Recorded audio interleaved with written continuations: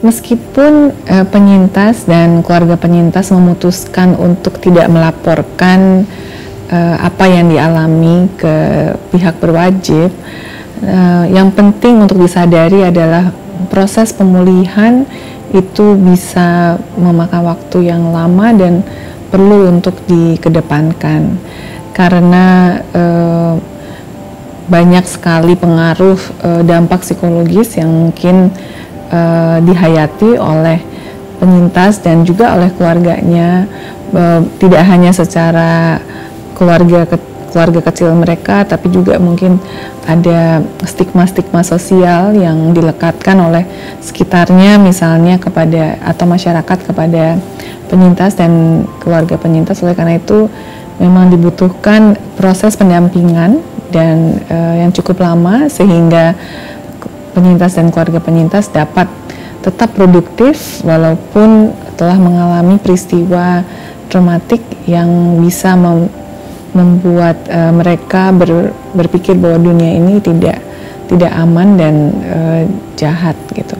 Jadi uh, prosesnya ini sangat sangat tergantung pada dukungan yang diterima oleh penyintas dari sekelilingnya. Oleh karena itu kita uh, sebagai masyarakat juga perlu untuk tidak e, memberikan label yang negatif pada penyintas kekerasan gitu karena memang bukan salah e, orang tersebut begitu bahwa ada orang-orang lain yang ingin mencelakakan mereka dan secara secara niat. Dan yang juga saya usulkan adalah um, adanya uh, gerakan dalam masyarakat untuk yaitu selain mendukung uh, penyintas dan keluarganya adalah untuk me mendorong terus supaya um, ada uh, kejeraan ya pada pelaku kekerasan seksual.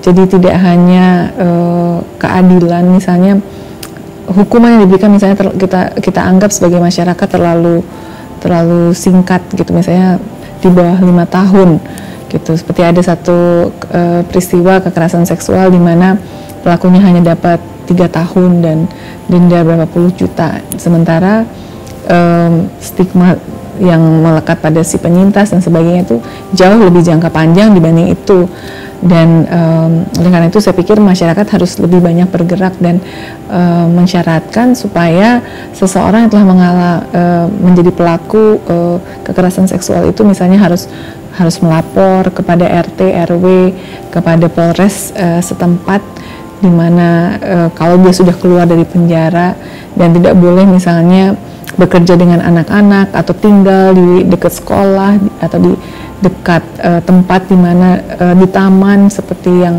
misalnya banyak anak-anaknya sehingga hmm. sanksi sosial seperti itu bisa membuat uh, seorang pelaku kekerasan seksual uh, lebih jerah dan berpikir ulang apakah memang uh, mereka akan menjalani hidup uh, yang penuh isolasi seperti itu. Jadi um, penting sekali peran masyarakat di, untuk mendorong dan mendukung supaya uh, supaya sanksi sosial tidak eh, tidak hanya keadilan maksudnya uh, lewat proses hukum yang sering kali mengecewakan tapi juga ada sanksi so sosial yang uh, dilakukan. Saran uh, saya untuk uh, orang tua dan sekolah adalah untuk memberikan uh, pendidikan tentang kesehatan reproduksi kepada anak-anak sejak dini gitu. Mungkin kita memang harus menyesuaikan dengan tahapan perkembangan anak tersebut. Misalnya kalau anak terlalu kecil, uh, kita bisa mengatakan uh, yaitu yang yang sekarang ada yaitu misalnya the underwear rule misalnya bahwa tidak tidak boleh ada yang masuk ke ke dalam uh, celana dalam misalnya um, dan kemudian jadi kita memang me, mencoba me, apa menjelaskan kepada anak sesuai dengan apa yang bisa dimengertinya. Semakin besar tentu saja kita bisa lebih um, eksplisit dan lebih spesifik tentang uh, konsekuensi dan sebagainya apabila melakukan hubungan seks dan dan uh, dan lain-lain. Tetapi dari kecil sebenarnya kita bisa mengatakan bahwa ada yang good touching, bad touching dan bahwa uh, apa namanya tubuh kita itu adalah apa namanya pemberian dari uh, Tuhan yang Maha Esa dan kita harus memeliharanya dan tidak membiarkan uh, orang untuk memaksakan kehendak.